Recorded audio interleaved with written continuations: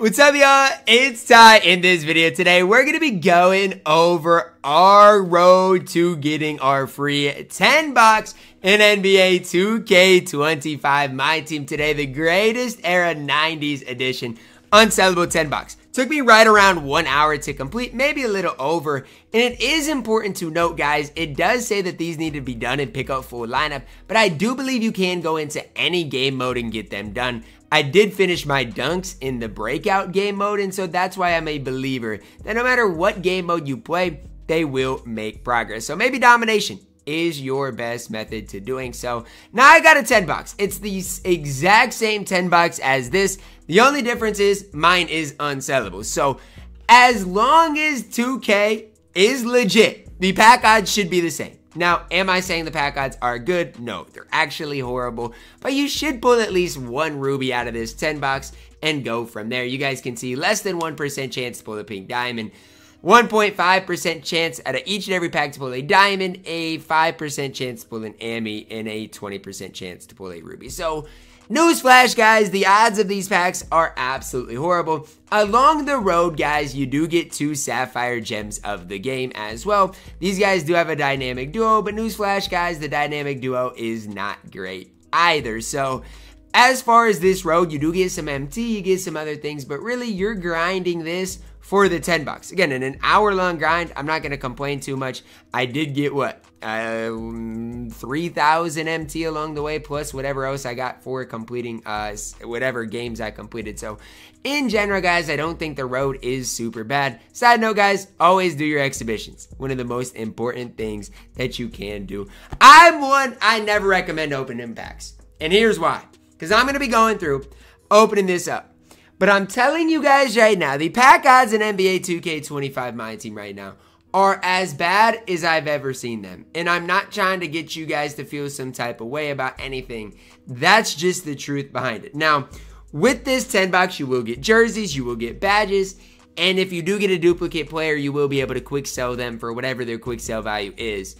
But newsflash, guys, it's not going to be too much. So you just got to hope you pull some solid badges from these things, some solid jerseys, any of these things that can help add MT to your collection. Because like I said, guys, these players are not going to be good.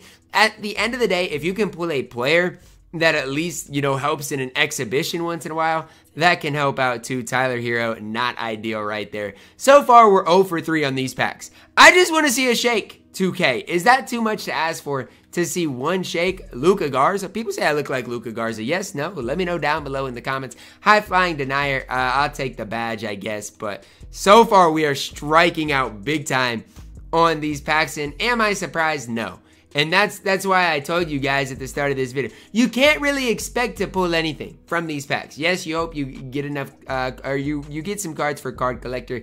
Yes, you hope you get some cards that can help you out in the exhibitions down the road. But as far as like pulling amethyst, rubies or above, I honestly thought I would. Based on the pack odds and what they say, they say you should pull at least one ruby from these packs. So if I don't, I mean, I am going to probably complain but at the end of the day, I feel like free packs are never as good as the packs in the market. You guys can let me know based on what you guys pull. But so far with what I have seen in this game with the deluxe packs weekly, I think on Fridays, those packs have been bad as well. So maybe it's just my, me having bad pack luck. Maybe you guys are actually pulling some decent cards.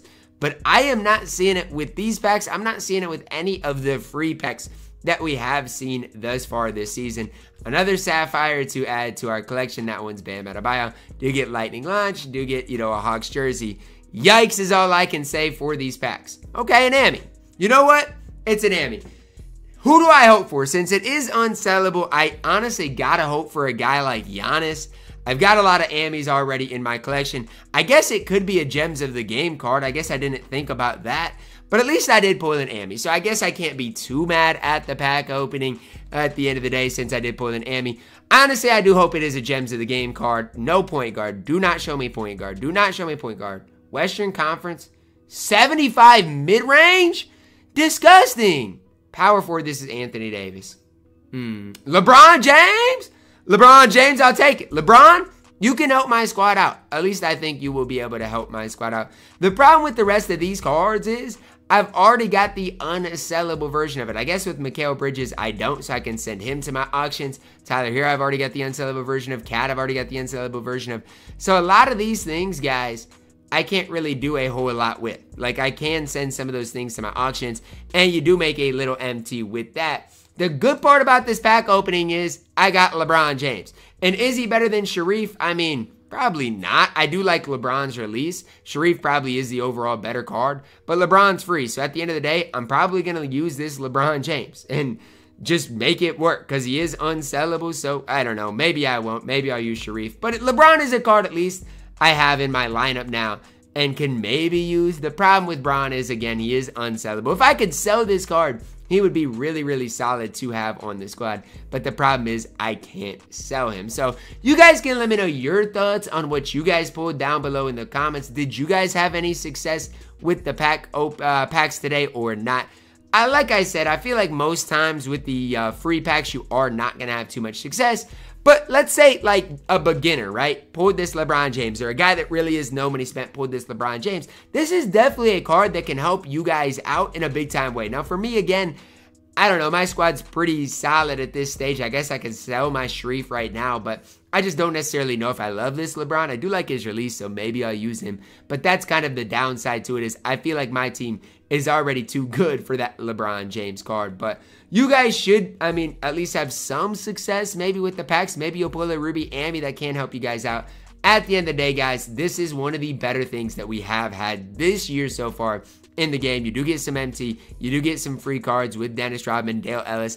I don't think they are the best cards, but they are absolutely free can add them to your squad. Plus, you do get 3,000 MT, which isn't a ton, but does help it, help the grind out a little bit along the way, as well as a 10 box. And who's to say, guys, that you guys won't go and pull, you know, a diamond? I'm not saying you will, but at least there is a chance with this 10 pack, uh, 10 box that you will pull a diamond. For me, I'm actually kind of surprised I even pulled an Ami. Was really open for Giannis Antetokounmpo. Obviously, Bron is fine. He is what he is, but uh, again, not who I was ideally hoping for. And I don't know if he really does have a spot on my squad or not. As far as where the market at is at, how many of these cards are being pulled, supposedly right now these cards are really rare. You guys are seeing there's a lot of these Kenny uh, Kenny Andersons up, but as far as like the rest of these cards, you're seeing it. They are relatively rare. Sure, Kenny Anderson should be cheap throughout today. The rest of the cards are going to probably be expensive.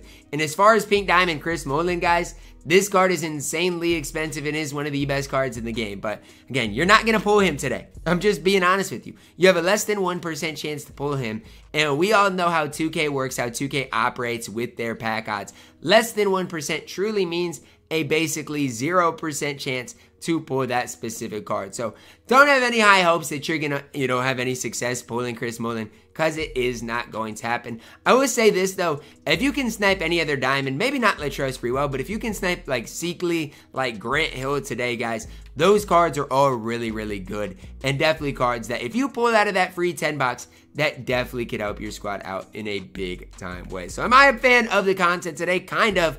But the bigger reason I'm a fan of it is because, yes, if you rip packs today, you've got something for you. But if you are no money spent, you have something for you as well. You can grind the game, get some free cards as well as adding, you know, a 10 box to your collection. And even if you pull Ami Bron, guys, he might be able to help your specific squad out. If you pull like an Ami D-Book, you never know.